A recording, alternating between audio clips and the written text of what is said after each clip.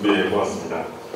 돌림판을 돌려서 질문 키워드가 선택되면 어, 그 질문에 준비해 주신 통장님이 일어나 질문하는 형식으로 진행하도록 하겠습니다.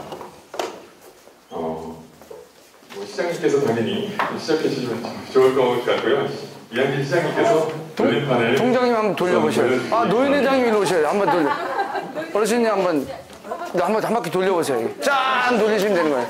자, 확 돌리시면 자 박수. 자, 확 돌리시면 돼요. 자, 자 하나 둘 그렇지. 자 누가 하셨습니까?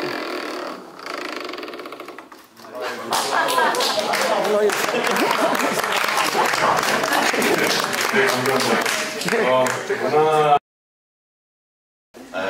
우리 노인 회장님께서 이렇게 또 멋지게 완박다가 이렇게 뽑아줄 줄 몰랐어요.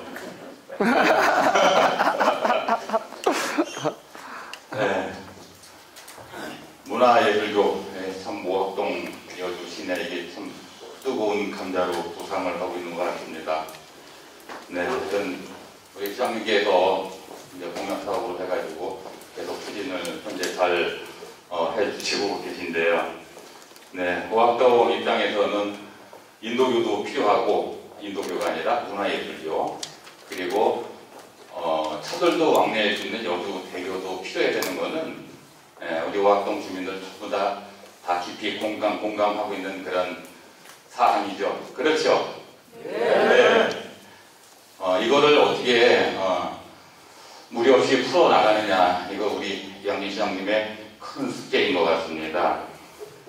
아시다시피 어, 여주 대교는 어, 초창기에 어, 예비 타당성 조사에서도 이제 점수가 현저히 좀 그때 당시에 떨어졌었고 예, 이제 모든 게 부족해가지고 하여튼 뭐 그때 어, 얘기 나왔었다가 문화예술교로다가 이제 진행이 되는데요. 어, 제 생각도 그렇지만 어, 우리 오학동에서도 이제 그런 어, 생각은 어, 문화예술교도 지금 시점에서 꼭 필요하다면 예, 지금 현재 진행이 돼야 되는 것도 맞습니다. 그리고 세종대교, 여주대교, 제2의 여주대교도 같이 병행을 해서 어, 진행이 돼야 된다고도 생각을 합니다. 그래서 이게 뭐 어느 하나만 아니고 이거는 안 되고 저건 된다, 저건 되고 이건 안 된다. 이런 관점으로 가지 마시고 하여튼 같이 합의점을 찾아서 네, 같이 진행이 되었으면 좋겠다는 그런 저의 생각이기도 하고 보학동의 입장도 크게 변함이 없으리라고 생각이 듭니다. 노트북. 여기는 그 문화예술교가 예. 보통 우리 저 동민들이 한결같이 그 원하고 있습니다. 근데 한간에 좀 들어보니까는 어떤 동민들이 반대하는 사람들이 많다 이러는데 물론 어느 사업이든지 원하고 있습니다. 이장님께서 저 조성희 우리 착감 될수 있도록 많이 노력 좀 해주시기 바라겠습니다. 예, 이상입니다. 네. 그 제가 애둘러 가지 않는 성격이어서 여기 저하고 이렇게 겪어보신 통장님들은 예전에 제가 시의원 때도 사실은 이 청사가 만들어지기 전에 기억을 하실 거예요. 왜 넓게 하자 그런 기억 나시죠? 그 그리고 지금 토지를 마련했잖아요. 지금 해놓으니 그래도 괜찮으시죠? 아, 그때 기억나실 거예요. 근데 그때도 제가 아, 넓게 하자 그랬는데 그 뜻을 함께 해주셔서 감사합니다. 오늘 여기 이제 어, 김영자 의원님 비롯한 시의원님들 계신데 어제 이제 중앙동에서도 말씀을 해주셨는데 저는 이렇게 생각합니다. 의원님들께서 사실 시민들의 뜻에 함께 하시려고 하는 것 같아요. 문화예술계도 반대하시는 것 같지는 않아요. 그런데 그 의견 조정에서 여주시가 좀 더 고민해야 될 바에 대해서 조언을 주신다고 저는 생각이 됩니다. 회장님들이 잘 모르고 계신 게 있으신 것 같아요. 의회에서 의원들이 깎을 때는 분명히 문제가 있어서 깎았거든요. 삭감을 했거든요, 지난번에. 그런데 지금 첫째 문제가 여주 제1대교가 어, D등급을 받았습니다. 성수대교가 2004년도에 검사한 거 보니까는 B등급이에요. B등급인데도 무너졌잖아요. 그래서 정말 지금 안전진단이 굉장히 저거는 심각하게 지금 보고 있습니다. 이 위험 수위예요. 지금 완전 위험 수위이기 때문에 어, 문학이 좋죠. 그러나 출렁다리가 있고 인, 저기 연인교가 있잖아요. 근데 연인교도 보면은 운동하는 사람들 외에는 이용하는 사람들이 없잖아요. 그리고 아침 저녁으로 출퇴근하려면 오학동이 굉장히 러시아온 시간에는 복잡하고 시간이 많이 걸립니다. 그리고 우연등록 그 다리를 건널 때마다 차량은 점점 늘어나는데 여주시에서 그 대토를 뭔가 준비하지 않으면 지금 안 된다고 저는 생각을 하고 있고요. 특히 어, 문화교 하나를 한다면 출렁다리가 부병이 여기 생기잖아요. 그리고 저기 인도교, 연인교 정말 저기를 다시 포토전을 만든다든가 조명, 경관 조명을 만들어서 아름답게 꾸밀 수도 있잖아요. 굳이 오합 주민이 지금 점점 점점 늘어나고 있습니다. 인구가 이런 15,000이다 지금 거의 2만 명 넘는 건가요? 지금 2만 명 육박한 걸 알고 있는데 점점 신세대들이 이쪽으로 많이 오기 때문에 여기 인구가 늘고 또 국내에서 나오는 차량, 강천에서 나오는 차량 저 D등급 다리 언제 어떤 일이 사고가 날지 모르기 때문에 이번에 오학 교통 체증도 어, 준비를 해야 된다고 보기 때문에 차도하고 인도하고 병행해서 다리를 놓자 저희들은 그거를 주장하는 겁니다. 그리고 지금 시장님이 이제 올해 이제 7개월 정도 임기가 남으셨는데 새로 후보로 나오는 시장님들은 생각이 틀리시더라고요 물어보니까 인도교하고 차도를 반드시 놔야지 인도교만 나서는 안 된다는 거예요.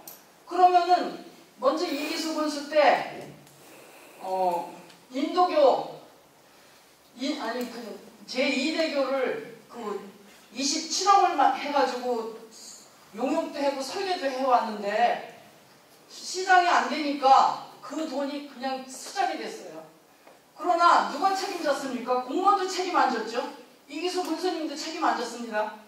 27억 시민 혈세가 그냥 수장됐어요. 그래서 만약에 이거를 하더라도 시장님이 다시 재선돼서 하시든가 그때 하시는 것도 늦지 않다 저는 그래요. 왜냐면 수당 이 18억이라는 돈이 이번에 올라왔었는데 재임이 안 되면은 새로 오시는 시장님들은 두 가지를 병행, 병행해야 된다. 심각하다고 D등급은 이렇게 말씀하시기 때문에 그 18억이라는 돈이 수장될 수 있기 때문에 의회에서 삭감을 한 겁니다. 그래서 또 트랩을 하신다고 하는데 저는 그거는 호황된 꿈 같은 약속이라고 봅니다. 제가 알기로는 어, 뭐 들었는데 1조 6천억 원이 든다는데 그런 돈 차라리 그 트랩 거기 문화교대 한다고 하는데 그런 돈 있으면은 1300이나 1200 들여서 차도하고 인도교하고 같이 병행해서 제대로 만들자는 얘기예요. 오학 발전을 위해서 강남과 강북이 발전을 위해서 교통 체증도 해결이 되고 저 위험한 다리 고쳐야 되, 되는 상황이라도 대토가 있어야 저 다리를 이용을 안 하죠. 그렇기 때문에 여러 가지 오학 발전을 위해서는 저는 반드시 차도와 인도가 병행해야 된다고 봅니다.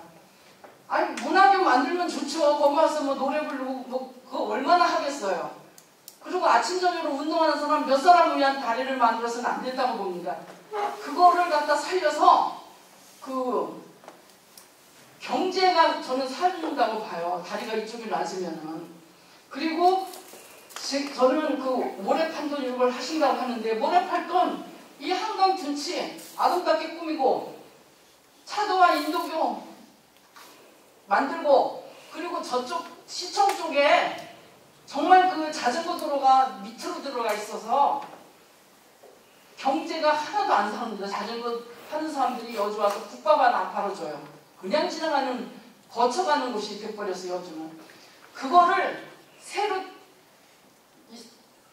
설립을 만들어서 자전거 도로도 위로 올려놓고 정말 그 강변도 살려가지고 제대로 하자는 얘기예요 저희들은. 그래서 저는 시장님이 또 당선되시면은 그때 추진해도 늦지 않다. 이번에 그래서 저희들이 사과만 이유고 18억이라는 돈이 국민 혈세에 또 수장될 수 있어요. 그게 걱정이 됐고 정말 필요한 거는 차도와 인도교인데 문화교 꿈 같은 문화교 만들어서 국민들이 몇 사람이나 거기 이용을 하, 겠는가 하는 생각이 이현준 들었고 교수의 동영상 준비하라. 진짜 문화교를 주, 저기. 만들려면 지금 준비된 이 연인교에다 만들어도 되잖아요. 연인교.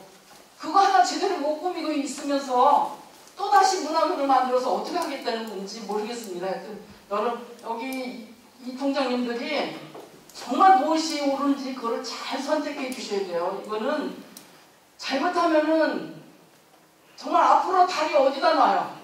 대책이 있어야죠. 저 D등급 받았습니다. 굉장히 위험수위 달입니다. 안전하다고 계속 그냥 그대로 갈 것인지 다리를 하나 새로 제대로 놔서 문화교하고 이 차도 하고 같이 병행해서 만들면 저는 좋겠습니다. 네, 다른 말씀은 아니고요. 그, 어떤 주장과 판단을 하려면은 들어오는 정보가 사실에 맞냐 틀리냐를 갖고서 판단을 해야지 틀린 정보를 갖고 판단하면은 틀린 결론을 내릴 수 있거든요. 여주대교가 뭐 D등급을 맞은 적은 있었어요. 저도 그 전에 아파서 수술을 한 적은 있었어요. 지금 다 낫습니다. 한때 D등급을 맞은 사실이 있으나 지금도 D등급이 유지돼서 위험한 상태에 있지 않다는 게 제가 알고 있는 정보, 정보입니다. 그리고 A 사업, B 사업, C 사업이 있잖아요. 문화교 사업이 있고, 이번에 여기 제2여주대교 사업이 있고, 지금 말씀하신 뭐 트레 말씀하셨는데, A, B, C는 별개 독자로 할 수 있으면은 하되 그게 동시에 하기 어려우면 순차적으로 할 수 있는 일이다. A 사업을 갖고 이야기하는데 B 사업을 들이대면서 이야기하는 것은 좀 공감대적인 성격이 있다고 저는 판단합니다. 이상입니다. 우선 저희가 2억 원이 그 작년 예산에 올라왔었어요. 그래서 의원님들이 음, 인도교냐 차도냐 막또 논란이 일어났을 때 그러면 우선 어떤 것이 더 적당한지 용역을 통해서 아- 한번 알아보자 해서 제가 먼저 2억 원을 편성해 드렸었는데 그 사업을 진행하지 않으셨어요. 제가 확인해 보니까. 그리고 이번에 올라온 저희들은 어, 사실에 입각해서 말씀하시라고 하면 저희들은 서류를 봅니다. 어, 물론 통장님들의 의견도 중요하고 여러 가지 다 중요하지만 서류를 보고 말씀드리는 겁니다. 어, 그래서 그 2억 원이 지금 그냥 안 쓴 상태로 있고요. 그게 영역이 조금 더 치밀하게 좀 돌아와서 그게 증거 자료가 돼서 통장님들한테 정확한 사실을 제공해 드렸었으면 하는 아쉬움이 또 있고요. 그 다음에 이번 어, 18억은 문화예술교류 도공모 조정교부금으로 60억 배정을 받아서 우선 18억이 내려왔어요. 그래서 지금 어, 문화예술계에 들어갈 수 있는 돈이 20억이 지금 확보되어 있는 상태고요. 그래서 문화예술교로 이제 인도교입니다. 그거를 확보한 상태에서 제가 받은 자료에는 트램을 고민 중에 있고 용역 중에 있다라는 문서를 봤어요. 그게 A 사업, B 사업, C 사업인지는 잘 모르겠으나 저는 한 문서로 봤어요. 그래서 그것이 이제 시장님 지시 사항이라고 내려간 것 같더라고요. 트램을 한번 어, 설치하는 것을 검사해 봐라. 그래서 기시 분석이라는 게 있거든요. 어, 예산이 들어가는 것만큼 효율적이냐 아니냐를 따지는 거예요. 어, 문화예술교 저는 좋다고 생각합니다. 그런데 그게 총 금액이 330억이거든요. 그럼 이 330억이 들어가는 것만큼 우리 오학동 주민이나 여주 시민들에게 얼마나 행복지수가 높아지게 할 수 있느냐에 대한 정확한 분석이 더 필요하다. 그런 거는 제 입장이고요. 여주라는 도시에 이게 라이프 스타일이 어떤 곳으로 될 것이냐. 뭔가 한 명을 잡아야 돼요. 예를 들어서 서울에서 20대 후반에 가정주부인데 애, 자녀 교육에 대해 관심이 많은 사람이다. 그러면 그 사람이 사- 집을 못 사요. 집이 다 3억이 넘기 때문에. 그러면 여주에 와서는 3억 이하의 집을 살면서 마당에서 애들을 뛰놀게 할 수 있고 학교가 되게 좋아서 아이들이 입시에는 좀 불리할지 모르지만 되게 건전하게 자랄 수 있는 그런 곳이 다- 되고 있다. 죄송한데 저 불 좀 꺼주신데. 근데 그런 그런 그런 곳이 아, 네. 그런 곳이 만들어진다면은 전국에서 사람들이 와서 살 거 아니에요, 여기에. 그러니까 우리가 꿈꿔야 되는 거는 전국에 목포에 사는 사람들도 여주에 살고 싶다라는 그런 매력적인 lifestyle을 제시를 하셔야 됩니다.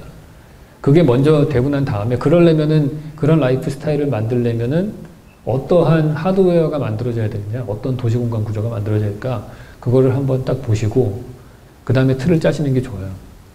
그래서 제가 얘기 듣- 들을 때 그런 얘기 들었어요. 지금 여기 보행자 전용 다리를 만든다고 했는데 시민분들이 야 지금 안 그래도 차가 막히는데 거기다가 왜 차도를 안 만들고 인도를 저 만드냐 보행자 전용 다리 만드냐 그런 거를 차도로 만드는 순간 여러분은 망하시는 거예요. 양평과 경쟁하는 게 되는 거예요. 그럼 양평하고 여주는 뭐가 다르냐? 여기는 사람들이 걸어 다니면서 즐길 수 있는 도시가 만들어져야 되는 거예요. 만약에 건너는 게 불편하시면은 요즘에 personal mobility라고 그래서 전동 킥보드 같은 것도 있어요. 여러 가지 뭐 노인분들을 위해서 만들 것도 있을 거예요. 만약에 그걸로 해서 해결이 안 되잖아요? 그러시면은 그 하다못해 등하교 시간이라도 30분 늦추세요. 그 traffic jam이 일어나는 시간대를 피해서 소프트웨어적으로 해결할 수도 있는 거예요. 그런 것들은. 그거를 굳이 똑같이 자동차를 위한 도로를 만들고 자동차를 위한 도시를 여기다 또 만들고 자동차를 위해서 편리한 도시를 만들면은 장담컨대 아무도 여주에 안 올 거고요. 점점 고령화되면서 사라질 위기가 있어요. 제가 볼 때는. 그러니까 여기에 장점이 몇 가지가 있어요. 땅이 평지로 되어 있다는 것도 장점입니다. 평평한 땅으로 되어 있기 때문에 smart mobility 같은 personal 전동으로 되는 전기로 되는 것들을 쓰기가 편하네요. 여기가. 충전을 자주 안 해줘도 돼요. 언덕길이 없기 때문에 자전거를 쓰기도 편하고요. 그리고 여기에 와서는 뭔가 다른 다르게 살 수 있을 것 같다라는 걸로 하셔야 돼요. 뭐 테슬라 전기 자동차에 슈퍼차저 하는 거를 유치를 하시던지 그래서 테슬라 전기차를 가진 사람들은 반드시 여주에 한 번씩 들리게 한다든지 뭐 이런 방법들이 여러 가지가 있습니다. 그러니까 그런 식으로 제가 아까 미래를 보시라고 했잖아요. 그 미래에 대한 걸 보셔야 되고요. 몇몇 사람들이 반대를 한다고 해서 모든 사람들을 행복하게 해주는 거는 아이스크림 가게 주인밖에 안 된다고 스티븐 홀이 그랬어요. 아, 스티븐 홀이 아니죠. 스티브 잡스가. 그러니까 그 결국엔 모든 사람을 만족시키기는 힘들 거라는 전 장담 드립니다. 근데 사실 정치하시는 분들에게 힘들 거예요. 모든 사람들이 표를 얻어야 되기 때문에. 그래서 우리나라가 다 지방자치가 다 개판이 되는 거예요. 이 사람 얘기도 들어주고 저 사람 얘기도 들어주고 하다 보면 죽도 밥도 안 돼요. 대한민국에 왜 아름다운 건축이 안 만들어지냐면 건축 심의제도가 너무 세서 그래요. 단순하고 멋있게 설계하는 안도다다오 같은 건축가가 있고요. 화려한 디자인을 하는 자하지드 같은 건축가가 있어요. 동대문 DDP를 설계한. 심의에 자하지드 같은 사람이 설계를 내면은 안도다다오 같은 심의위원이 와서 간단하게 고치라고 얘기를 해요. 안도 같은 애가 설계를 내면은 자하지드 같은 건축가가 와가지고 야 너 모양이 왜 그 모양이라도 화려하게 만들어 버려요. 결국에는 다 중간 회색지대로 다 모이게 되는 거예요. 모든 사람들을 만족하게 하는 거는 결국에는 죽도 밥도 안 된다는 생각을 하셔야 돼요. 여기서 만족 못하는 사람은 화성시에 가서 사시던지 원주에 가서 살라고 하세요. 그 여주만이 살고 싶은 걸 만드셔야 돼요. 여주만의 캐릭터를. 그걸 제가 왜 자꾸 말씀을 드리냐면은 그걸 만약에 못 만드시면은 10년 이내에 못 만들면은 이 도시는 소멸되고 없어질 거라는 거예요. 아무리 지하철을 뚫고 뭘 해도 소용이 없어요, 그거는. 다 중앙으로 가게 돼 있습니다. 그거는 인류 역사를 통틀어서 안 바뀌는 진리 중에 하나예요. 도시가 점점 점점 고민화되고 있거든요. 한 시대를 장악했던 국가들은 대표적인 도시가 하나씩 있고 그 도시는 그 당대에 가장 밀도가 높은 도시예요. 그 얘기는 서울은 더 고밀화될 거고요. 많은 도시들이 고밀화되고 교통수단이 발달하고 중간에 있는 도시들은 개성을 갖지 않으면 사라질 수 있다.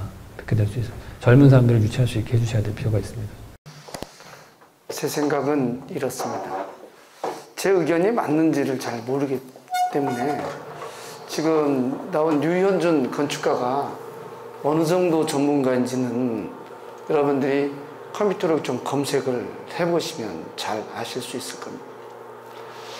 의원님들이 말씀하시는 걸 뒷받침하는 전문가 의견은 전무합니다.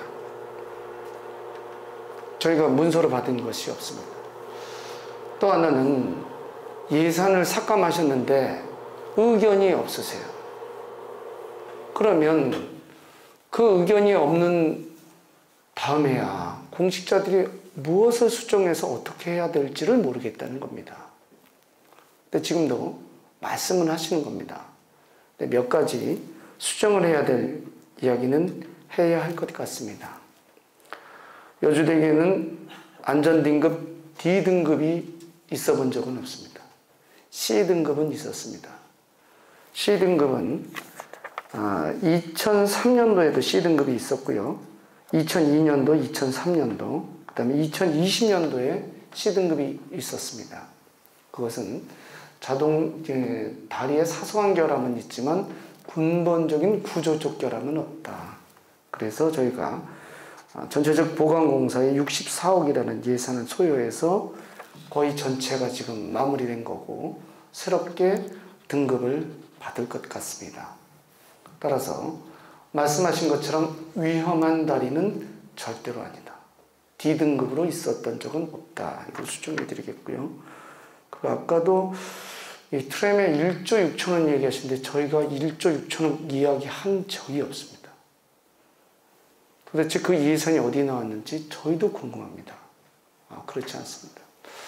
아, 트램에 대한 얘기 잠깐 말씀드리면 우리 그 여주 시청 앞에 도로 넓지 않아요? 그럼 거기에 레일만 깔면 되는 겁니다. 그 요즘에는 무가선 열차라서 이 위에 레일 그 전기선도 필요 없습니다. 아, 최근에 트램의 추세는 수소 열차입니다. 사람이 몰리게 될 경우에는 어, 자동차처럼 그것을 좀 더 늘리면 되고요. 또 줄이면 되는 겁니다. 그래서 그 추세가 지금 우리 2050 탄소 전략이라 해서 전국적으로 지금 국가가 아, 이 새로운 교통수단으로 좀 변화하고 있기 때문에 선도적으로 그걸 하고 있다. 그런데 그것은 아까 아, 한정미 의원님이 얘기하신 것 중에서 약간 얘기가 좀 제가 깊지 못해서 이해를 좀 부족한데요. 아, 트램과는 별개 사업이라는 거 분명히 말씀드리겠고요. 트램은 트램대로 하고 또 그 이 문화예술은 문화예술계대로 하게 됩니다. 어떤 얘기로 비유 말씀을 드리면 한상 차림에 식사를 할 때 밥은 밥대로 짓고 반찬은 반찬대로 만드는 겁니다. 근데 식사는 즉 시민들이 즐기기에는 사용하기에는 함께 사용한다는 겁니다. 그런데 이것을 밥에다가 반찬을 넣고 한, 한솥에서 밥을 할 수는 없다. 아, 이것이 예산 항목의 다른 것이죠. 이것은 칸막이는 아니다라고 분명히 말씀드리겠고요. 그리고 이 소통에 대한 이야기를 하셨는데 사실은 어제는 한정미 의원하고 제가 사실 식사를 했어요. 그래서 제가 보기에도 좀 불편한 것 같잖아요. 그런데 식사할 때는 뭐 또 식사 같이 하면서 이런저런 이야기 나눕니다. 이것이 우리의 일이 아닌가 싶습니다. 아까 말씀하신 의원님은 저하고 식사하신 거를 사실은 아직까지 원하지 않아서 식사를 못했는데 그건 제가 부족한 것 같습니다. 그 이전에도 의회에서 식사를 함께 하기자고 제가 제안했지만 그건 아직까지 이루어지지 않고 있는데 그것마저도 저의 부족한 것이 아닌가 싶습니다. 예산에 대한 얘기 말씀드리겠습니다. 제가 이제 경기도에 가서 이제 이게 60억을 따왔는데요. 그것을 따왔다는 것 자체는 타당하다는 결론을 다 내린 겁니다. 경기도에서. 용역과 거의 비슷한 수준의 아, 내부 검토가 다 끝났다는 이야기입니다. 그런데 오늘 이번에 12월에 예산이 통과가 안 되면 그 60억 예산은 날아가는 것은 분명합니다. 제가 알기로는 그런 거로 알고 있습니다. 나머지 아, 예산 전체는 아, 사실 모래 판 돈 맞습니다. 강에서부터 단 한 발자국도 이론 하나 못 나갑니다. 하천둔 지역이 한 10만여 평인데요. 경관 농업지구로 이미 저희가 예산 투여하고 있고요. 잘 아시다시피 파크골프 또 추가 증설 사업도 끝냈습니다. 이 이후에 더 많은 아, 이 둔치의 경관 사업도 예산 들여서 하고 있습니다. 거기에 330억을 더 드릴 공간이 없어요. 그 의원 말씀처럼 강천으로 간다, 대신으로 간다, 막 하는 겁니까? 예산은 그렇게 되는 게 아닙니다. 반드시 쓸 때 써야 되는 겁니다. 그거야말로 용역에 의한 타당성에 의해서 적절하지 않으면 안 됩니다. 지금 BC 분석에는 BC 분석에서 1.0이 넘었다는 건 사업적 타당성이 있다는 것이 확인됐습니다. 결론적으로 말씀드리면 여주시 예산, 즉 시민들이 낸 예산이 아니라 모래 판돈 270억과 제가 나가서 테스트, 그러니까 그 컨테스트에 나가서 우수상 받은 걸로 알고 있는데요. 우수상 받아서 60억 단 330억입니다. 출렁다리 얘기를 조금 말씀드리면 출렁다리 맨 처음에 관광지 통장에 우리 100억 가져왔잖아요. 저 결국 만들 때 250억으로 지금 하는데 요새 돈 더 들어가는 것 같아요. 사실. 그렇지만 계속 돈 들여놓고 있습니다. 문화예술교 330억 지금 안 한다고 하면 어떤 일이 벌어지는지 말씀드릴게요. 60억은 날라가고요. 330억도 없어집니다. 다리를 만든다고 하면 천억이 넘고요. 천억이 넘게 되면 이 사업 타당성 검토 해야 됩니다. 타당성 검토만 몇 년이 걸릴 거고요. 천억이 넘는 것은 지난번에도 사실은 이게 사업 필요성이 안 나옵니다. 된다고 하더라도 최소 검토 기간 몇 년, 그리고 추가적으로 어, 더 예산 확보에 대한 노력이 국비가 확보되지 않으면 또 늘어질 겁니다. 모래 판돈이 대교 만드는 데 들어가기는 어려운 걸로 알고 있습니다. 은어예술교는 당장 가능한 겁니다. 도로에 대한 얘기 좀 더 말씀드리겠습니다. 실륵사 출렁다리 얘기하기 좀 조심스럽지만 실륵사 출렁다리 이미 착공이 되자마자 양쪽에서 개발붐이 일어나고 있습니다. 여주대교나 세종대교 주변을 보십시오. 자동차 중심 도로가 됐다고 무한 어떤 시설들이 지금 들어오고 있나요? 출렁다리는 결국 사람이 걷는 사람들이 있겠다라고 얘기하자 큰 변화가 있습니다.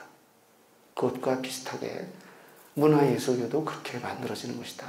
라고 말씀드립니다. 금방 의원님들께서 이 얘기는 해주신 것은 분명해 보입니다. 오학동 통정협의회에서 순위 수의를 하셔서 어, 문화예술교가 필요한지 여부에 대해서 결론을 내려주신다면 그에 따라서 판단을 통장님들의 의견에 따라서 판단을 하신다는 이야기는 하신 것 같습니다. 오늘 이 자리에서 뭐 결론 내리기보다는 저도 있고 의원님들도 있어서 굉장히 부담스러우실 거라고 생각됩니다. 내부 논의와 수기 과정을 거쳐서 정말 오학동을 위한 미래 발전 모델은 무엇인지 논의하시면 어떨까 싶습니다. 아, 제가 나오는 협의회장님 말씀에 이 정도 말씀을 드리면 어떨까 하는데 되셨나요, 협의장님? 네. 네, 그 뺑뺑이 판이 왜 거기에 걸려가지고 그래서 부드러, 부드러운지 안 부드러운지는 끝까지 가봐야 되는데 그것도 운명이 아닐까 싶습니다. 박수로 요, 요 질문을 마무리하도록 하겠습니다.